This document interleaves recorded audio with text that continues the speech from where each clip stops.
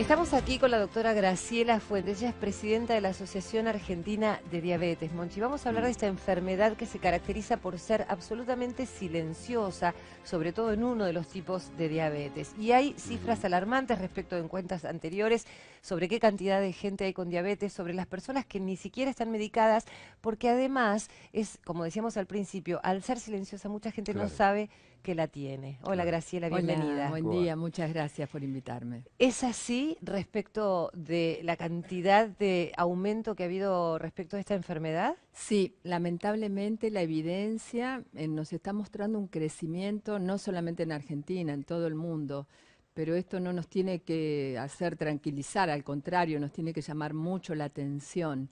Cada vez tenemos más personas con diabetes, lamentablemente muchos de ellos no lo saben porque la diabetes tipo 2, como bien decías, es silenciosa, puede no dar ningún síntoma. La diabetes tipo 1, que es menos frecuente, es así, puede ser muy florida la sintomatología, pero ocurre en un porcentaje muchísimo menor. Acá el asunto es que tenemos que hacer difusión y hacer educación para que las personas con riesgo de tener diabetes puedan hacer una consulta con su médico. ¿Y cuáles serían los síntomas? Sé que es asintomática, pero un algo para, para Hay datos que nosotros denominamos factores de riesgo.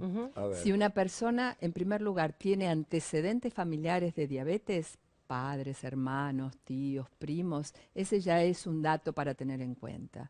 Si esa persona además tiene sobrepeso u obesidad, que esto también está creciendo de manera alarmante, es otro factor de riesgo. Si la dieta no es la adecuada, si es muy sedentario. Mucho consumo de grasas. De, grasas, de azúcares si no se hace una actividad física regular, si se tiene el colesterol o los triglicéridos elevados. Son todas situaciones que a la persona eh, tienen que llevarlo a hacer una consulta con los profesionales. Es decir, que lo mejor para detectarlo es hacer un análisis de entrada, ¿no? Porque uno puede tener alguno de esos síntomas, pero no necesariamente tratarse de diabetes. Entonces, uno se hace un análisis y ya se queda tranquilo con esto. Ese es el, punto mm, fundamental.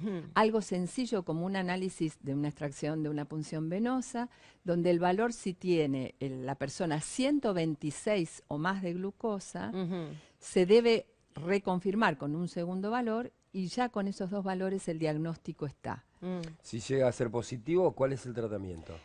Hay que hacer la consulta con el equipo de salud, con un médico que puede ser un médico de atención primaria, un médico especialista en clínica médica, un especialista en nutrición, endocrinólogo, un diabetólogo. Y el tratamiento básico es el cambio de estilo de vida. Aprender a comer como se debiera haber comido siempre, mm. tener un plan de actividad física que sea adecuado a esa posibilidad. No es lo mismo un adolescente que un adulto joven que una persona de la tercera edad y habitualmente se suman medicación. En todos los casos hay insulino dependientes porque uno eh, sabe que hay elementos para medirse la glucosa habitualmente cuando ha, convivido o estado o, o cerca de una persona con diabetes. ¿Y cuál es el miedo que hay que tenerle a esta enfermedad? ¿Cómo puede avanzar?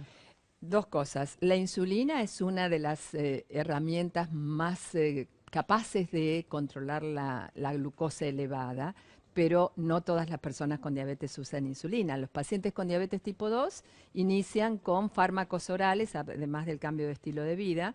Por supuesto, pueden usar insulina en cualquier momento de la evolución. Los pacientes con diabetes tipo 1 necesitan insulina desde el diagnóstico.